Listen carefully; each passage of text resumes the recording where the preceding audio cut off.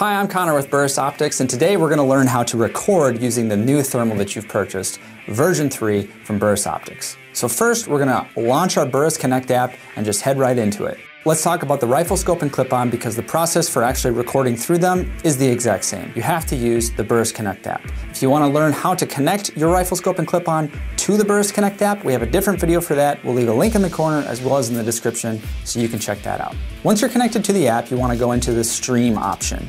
At the bottom, you're going to see photo and video. So you'll be able to say whether you're taking a photo or whether you're recording a video, and then next to it will be the record button or the capture button. This saves to the actual mobile device, not the optic. And so if you plug your optic into the computer later, you will not be able to get that information off. It is on your device. The handheld, however, is a little bit different. It uses a record button on top of the optic. If you hit it briefly, it will take a picture.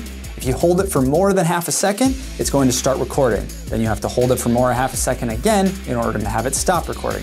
This does save to the device, so you can connect this to a computer and pull that information off later. You can also use the Burris Connect app to connect to your handheld and do the same commands. You can tell it to record, you can tell it to take a photo, and you can also see what is on the handheld already. As you can see, it shows the same settings as the other optics, but it also has a media tab for the files that are on the device. If you click under the media tab, it says on device, and so it'll be everything that is actually on this handheld.